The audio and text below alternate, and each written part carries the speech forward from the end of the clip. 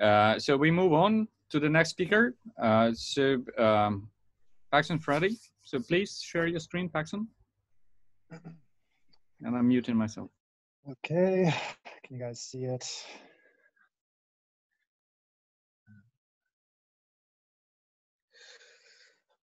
Okay, uh, hi everyone. I'm Paxon Frady. Uh, thanks for having me. Thanks Evgeny for, you know, organizing this workshop and uh, turning it around into a great webinar, uh, given the circumstances. Um, um, so I'm I'm going to tell you a lot about um, what we've been doing at the the Redwood Center at UC Berkeley uh, when with with these vector symbolic architecture ideas. Uh, we have this new paper about resonator networks uh, that we just put on arXiv um, last week. So I, am um, going to go through those. There's two of them actually, so I'm going to go through those papers, uh, but also check them out uh, uh, online. And, um, and then um, I'm also currently a, a, researcher in residence at Intel. And at Intel, we are working um, on some neuromorphic hardware. And I'm going to tell you about how we're trying to use vector symbolic architecture ideas to enable um, new and exciting algorithms uh, in, in neuromorphic hardware. so Intel makes me put uh, these legal uh, disclaimers, but I'm not really going to be telling you about any type of publicly available hardware. But you know, just don't uh, sue Intel over over this talk for some reason. Um, okay, but first, like a lot like what Tony was saying is is um, you know we have these deep neural network machines that um, that perform rather well at, at certain benchmark tasks and and if we switch from language to vision you know the paradigm is typically to just show uh, an image to one of these networks and have it output, you know, a class label. Um, but I think all of us, you know, if we look at an image like this, there's far more going on in the scene than than what's expressed by the label. And to me, uh, it feels like you know, as much as these networks have shown good progress and um, sort of are state of the art that there's still like a lot missing from their understanding about you know the world or, and language or or just vision and you know mostly they're they're sort of outputting these uh, shortcuts to to solving these like simple problems and they don't really have a deep understanding about you know what's happening in these images. And and and so like to me you know what's going on in your brain is is just way more complicated than than can be captured by just this association between an image and a label. And i think this paradigm is is sort of short-sighted and, and there's a lot more to intelligence than than just like these supervised learning problems. And if we go to vision i think you know there was some older ideas about you know what computer vision should be like and um, what sort of the issues would be to to have computer vision. And one of the things we have in computers is computer graphics right? So we can you know look at any modern video game and the the graphics are incredibly realistic. And so it's it's quite easy for us to express you know objects in a three-dimensional world and then generate um, an image of, of that world to show to people. But what the challenge is is is doing the inverse of this problem is uh, taking the image and kind of inferring backwards the parameters uh, that make up the objects that consist in the world. And and so this this this is challenging for you know even if you had like a very simple graphical model it's still challenging to um, inverse this process and you know this is sort of like one of the problems uh, computationally that the brain would need to solve uh, to, to do vision. It's like as if you know we have some sort of generative graphical model in our minds and we need to infer uh, the parameters of this model um, uh, when given the, the input image. And, and so this sort of like inverse uh, problem is uh, at the heart about this new algorithm. And we hope that um, you know, by recognizing that there are these other problems besides just you know, supervised learning and classification that you know, the, the VSAs can really enable neural networks to do to do more things. And, uh, and so the, the main idea of this problem uh, is this idea of factorization. And, and it's clearly um, a very important aspect of perception. Um, because naturally, um, like in a stimulus like this, there is uh, a multiplication of several factors. And the, the perceptual system must be able to undo this multiplic multiplicative interaction to infer uh, properties of the scene. And so if you take a just a very simple object like this, um, the, the object is, is composed of some three-dimensional shape. Uh, the, the, shape has different reflectance properties. And then there's like a lighting source, right? And so the exact uh, luminance that hits your eyes from, from different pixels in this image uh, is a multiplication of the lighting angle, the reflectance, and the, the, the angle of the, the plane of the shape. And so all of these things are multiplied together, and then the goal of your brain is to demultiply them.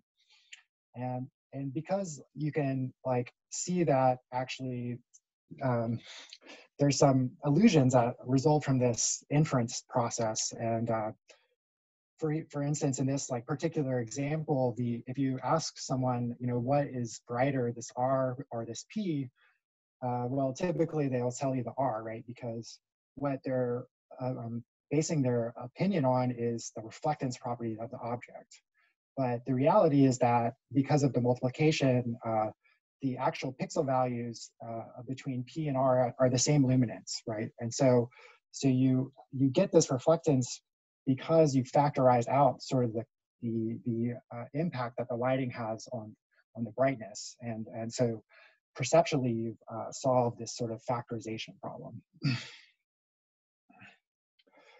so I was really attracted to VSAs and just come study VSAs because they they recognize that you know there's there's some missing ingredients to distributed representations and, and computations. And the proposal of the binding operation and being able to form data structures with you know vectors and vector operations was crucial i think to making progress into enabling new algorithms in neural networks. And and so um, in particular, in this talk, I'm going to be mostly focused on uh, just the bipolar version of the VSA. So essentially, you pick vectors for symbolic expressions by picking random high-dimensional vectors. In this case, they're just minus ones and plus ones. you know, we store these symbolic vectors in a code book. Uh, then we have operations like dot product for similarity, uh, summations for forming a set, and then element-wise multiply, in this case, is the binding operation. And then we'll also be using permutations as well. Um, and so we, we kind of showed in, in another paper that uh, these there's a lot of different varieties of VSAs, um, but they all rely on the same types of geometrical principles. And if you think about just like the geometry of vectors in high dimensional space, most of the VSAs are actually performing similar types of uh, manipulations. And, and so that's kind of why they've coalesced into this super class of vector symbolic architectures, even though there's uh, lots of different flavors of the particulars. Um, and so one thing you can do with VSAs is, is use these different operations to represent uh, different types of data structures.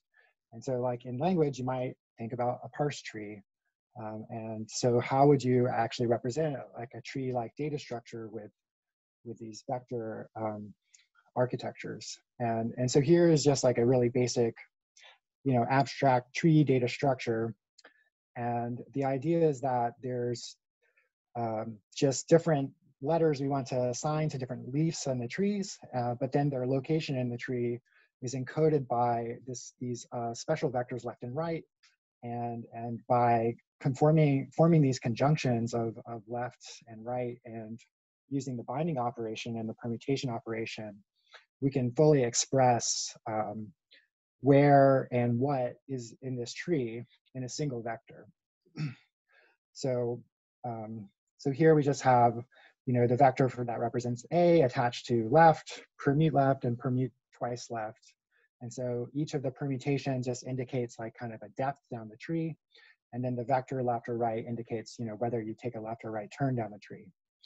And so then you can query this data structure by um, taking a particular location, so say like we want to know what, what element is at left, right, left down the tree, we can unbind this in the in the bipolar form of VSA, the unbinding and binding are, are actually the same. So, but but but basically we unbind the um, address of the location in the tree, and what we're left over with is the vector B kind of exposed, and all the other terms in the sum are act like noise.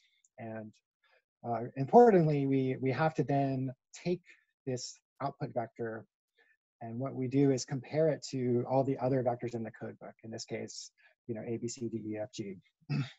and then by doing this uh, similarity comparison, we can look at like which, which of these vectors are, are the most similar. And, um, and that is the uh, output of the uh, computation. And so that's how we can find what items at a particular location in the tree. Okay, but then um, we realized that when manipulating these VSA structures and when you have these bindings, there ends up being um, a factorization problem that emerges all the time. And, and so you can see this in the tree example by kind of doing the opposite manipulation of the tree. So instead of asking, you know, what's in this location, we're asking where in the tree is this particular item. So this is the problem with tree search.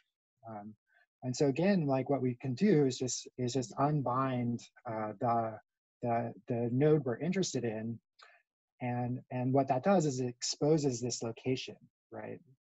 But the the issue here is that um, we still need to do some sort of comparison to really understand what this vector means. And naively, what we would have to do is compare this um, exposed location to every possible path that could um, exist in the tree. And so we now like run into this combinatorics problem where uh, to actually solve this problem, we would have to express the combinatorically large number of paths down the tree to find the most similar path that this, this computation results in. Um, and so this is, uh, you know, something I think that has limited the application of VSAs to more complicated problems because this, this combinatorics problem arises quite often. And um, and so abstractly, um, we can see it sort of just from this very basic um, problem. So the idea is um, we have some binding of multiple factors. And uh, so here I'm showing three, but it could be two, it could be however many, like some number of products bound together. And and what we're given is sort of the result of the binding. So we know we have the S, but we don't know X, Y, or Z. And um, but we do know that they they the x y and z come from a, a, set like so we do have these code books and we we can narrow down the x y and z to to some of these possibilities but the typical approach to like um, trying to understand what s is com composed of would be to to search through every possible combination of x y and z so if if these d values were say like 100 so there's 100 possible x's 100 possible y's 100 possible z's well, the combinatorics of that is 100 times 100 times 100, which is a million, right? So we'd have to search through a million possible combinations to understand what this uh, S variable is made out of. And so this, this becomes untenable because we have this, we don't want this combinatorics explosion. Um, so we kind of stumbled upon this, this way of solving the problem, which doesn't really require you to express the full combinatorics of these sort of factorizations. And this is um, a, neural network that we like to call the resonator network. And, and the idea is that we are going to use this principle of superposition in VSAs to actually search through this combinatoric space um, without like actually explicitly um, representing every possible combination. okay, so then the way this works is, is we, we start off by creating some vectors that are, are guesses or estimates of, of each of the factors. And, and then um, we can initialize the guess to be the superposition of all possibilities. And, and then um, we can take uh, two of the guesses and unbind them from the input vector and, and, and use that to infer the, uh, the third factor, right? Um, so if, if, if we knew exactly what x and y were, this would like give us exactly what the third factor is. Um, but then when we do this estimate in superposition, what we have is like many guesses being tested at once.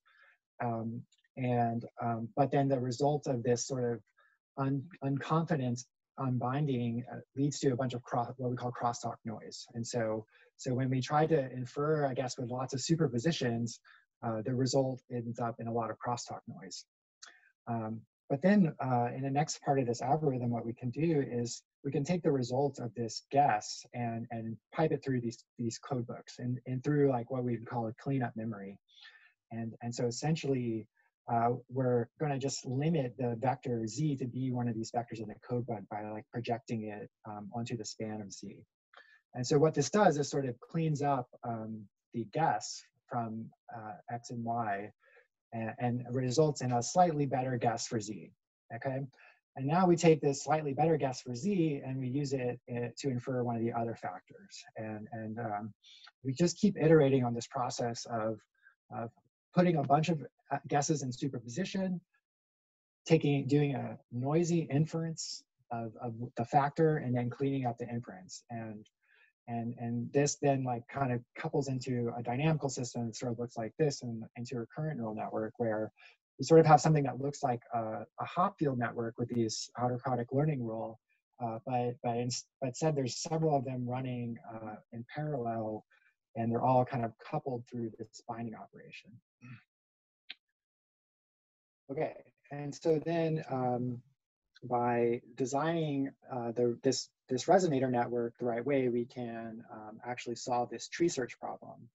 And so um, what we're going to do is, is encode in these, um, these code books actually the vector left, the vector right, and then a special vector, which is the identity vector actually, that means uh, stop.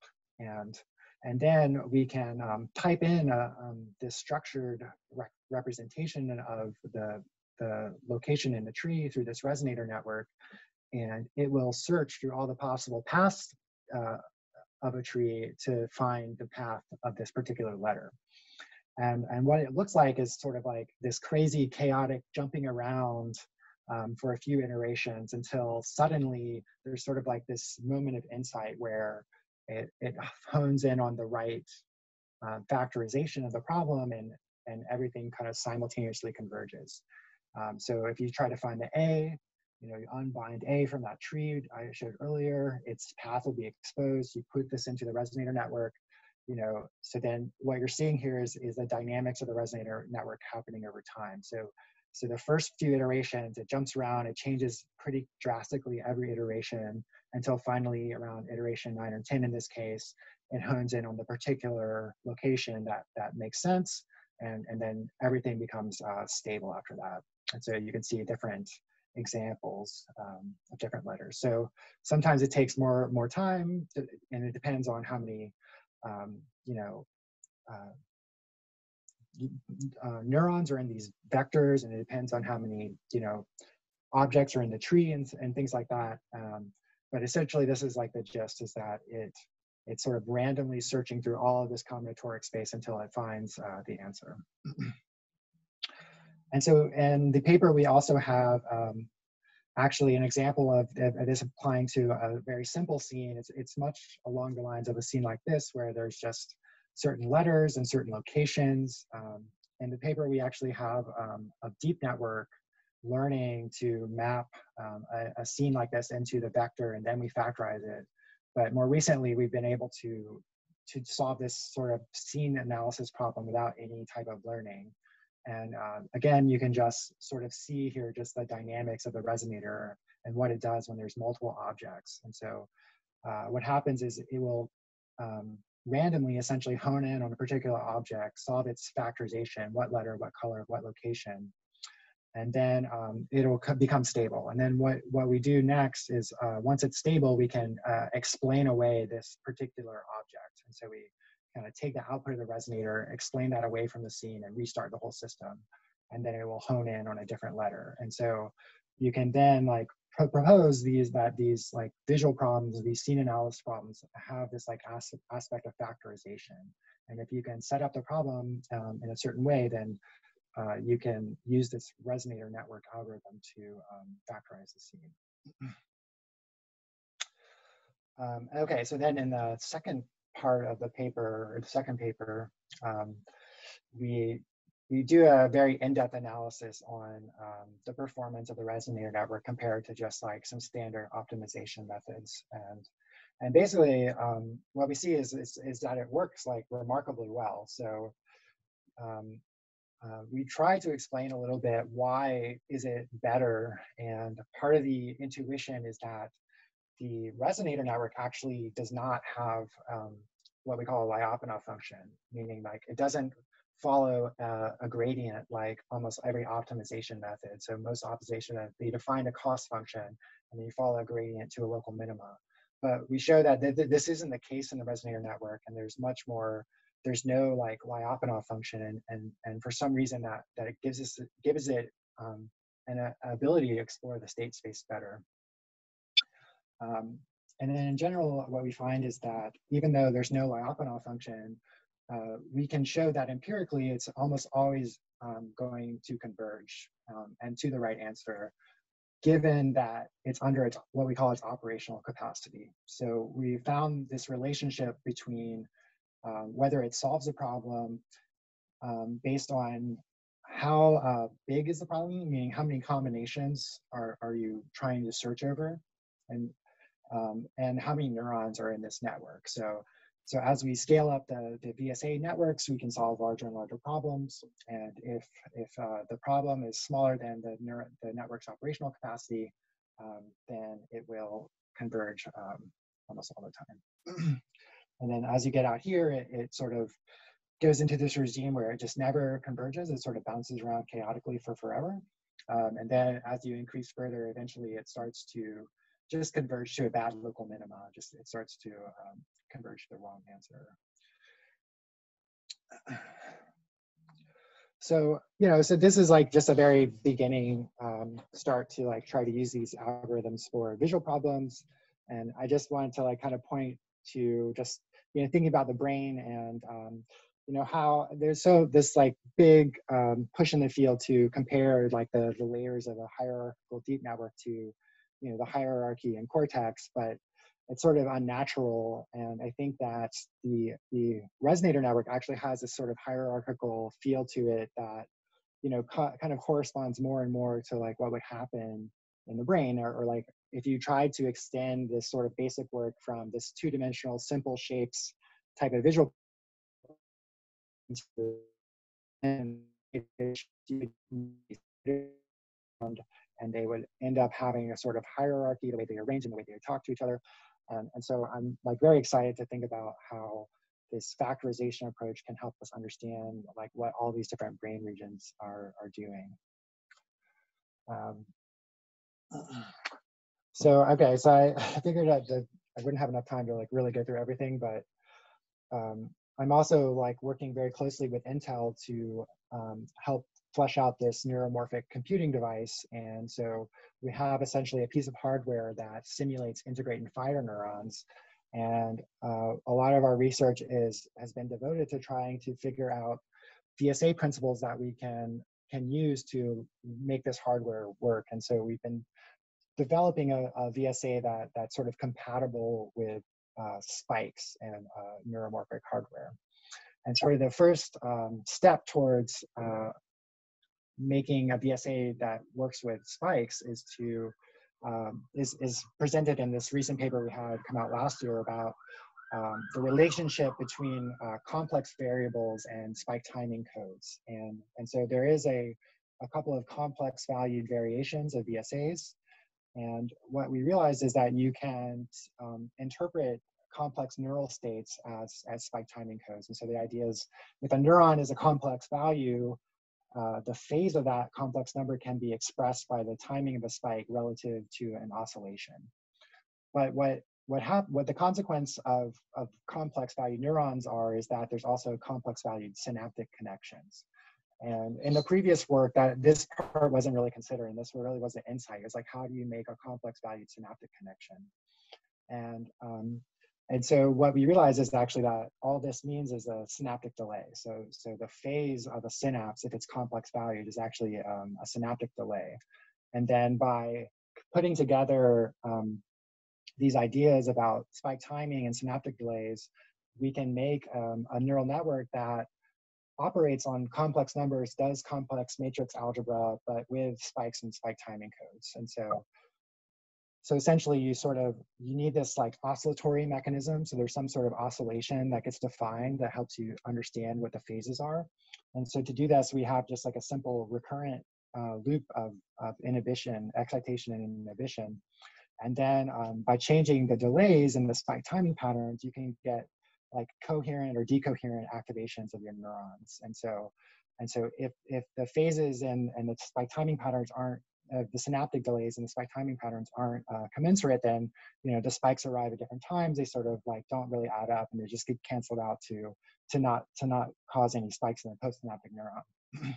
but if they're like in alignment, then you get these big oscillations and then these big oscillations cause spikes at particular times and and through this, you can actually implement all the complex matrix algebra. And, and in, in this case, we, um, we just implement a simple attractor network. And this is like part of the cleanup memory often used in, in vector symbolic architectures. So, so here's just like a network kind of initialized to um, some overlapping patterns. And then over time, it cleans itself up to converge to one of the particular patterns. And, uh, um, and so this is just like a visualization of that. Um, yeah, and finally, we were, you know, what's also important is sparsity. And so we've also been developing um, a VSA that relies on uh, sparse, uh, that uses sparse connections. So the every most of the VSAs are dense, meaning that every neuron is active all the time. But in spiking hardware, we want um, you know only a few neurons to be active, and that saves us a lot of energy. And so we kind of like did made this other paper that's coming out soon that that really like analyzes what the binding operation means and how it's related to the outer product. And we, we examined a bunch of um, sparse binding operations and um, and essentially to, to, to make the story short is that uh, we, we've kind of settled on this idea of a block code. So, so essentially um, you have, you have these sparse vectors where only one neuron is active in each block. And so you might have K blocks and and then by binding, you do, um, to bind, you do circular convolution block by block. And this actually uh, is perfectly invertible and it uh, saves you a lot uh, in neural resources. Um, so this paper will be coming out soon. Uh, sorry to like gloss over it, but um, this is, I just want to give you like the highlights of what we've been doing and, and where we're going. And um, and so here's just like a, a list of, of these papers. Uh, so check them out if you want to know more. Um, and this new sparse binding paper will be coming out um, hopefully like this week. It's very close. Um, and then, so I just want to thank everyone from the Redwood Center, uh, you know, Bruno and Spencer were a big part of the Resonator Network, and uh, of course Fritz and uh, and uh, Mike Davies and Intel for um, sponsoring me.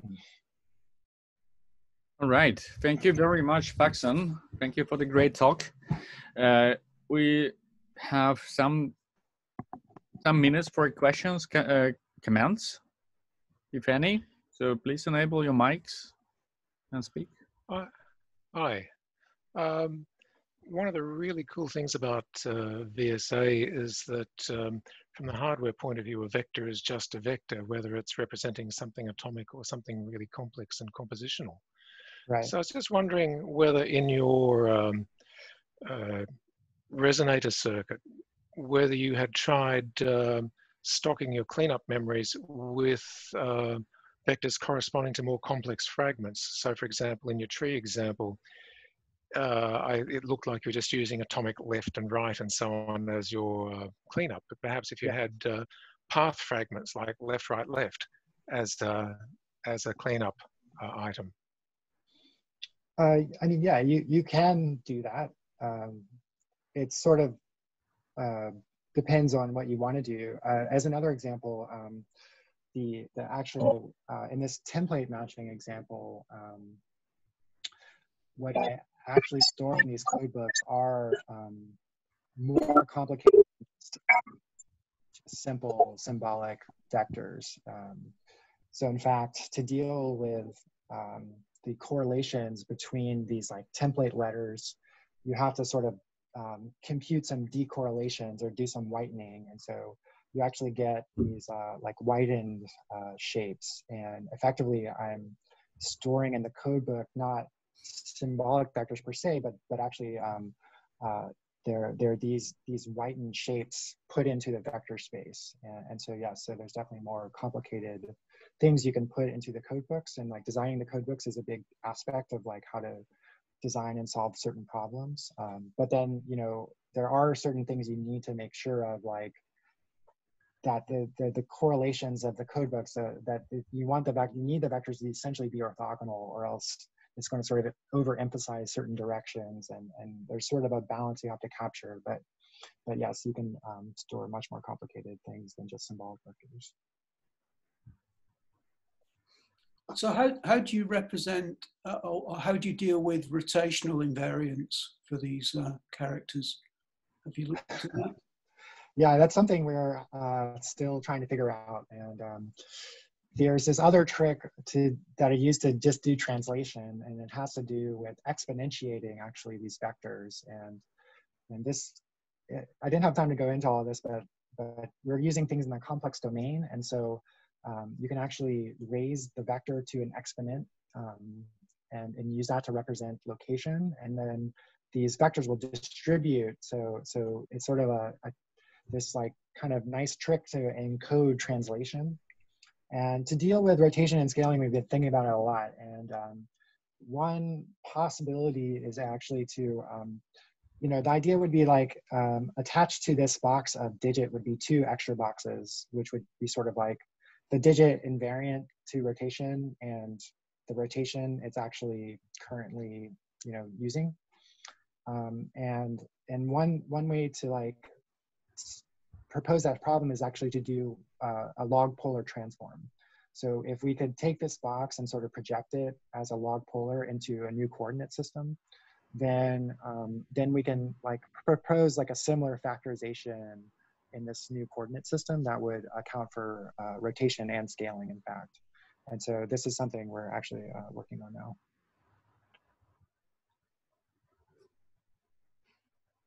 Any more questions? Comments? Yeah, excellent. So with the with the neuromorphic chips, what's mm -hmm. the what's the motivation for using um, spike timing as the you know rather than a you know more conventional digital zero one or or whatever? Is it is it efficiency or is it to model um, what we know about real neurons or what? Well, originally we were you know just thinking about the brain and how there's oscillations and spike timing. Um, but then in the chip, actually, um, the the performance of the chip does depend very, very much so on how many spikes you are communicating in any given time step.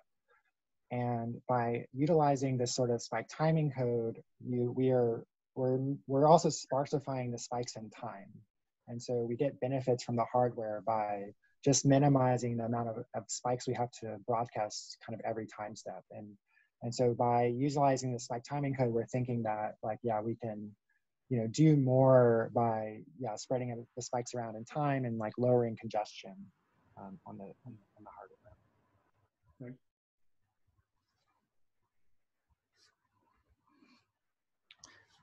All right. Uh, looks like our time is up. So thank you very much to both presenters. Uh, excellent talks, lots of uh, ideas to think about. Uh, I want to remind everybody about our uh, VSA related mailing list. So if you have any additional questions, so please uh, um, post them there. Uh, as well as um, uh, yeah if you have any related to VSA HD question, um, question or topic so please post it th there as well. Uh, so for now we we end this webinar and I uh, want to remind you that we have one more webinar in two weeks. So please come and listen. Thank you very much. Goodbye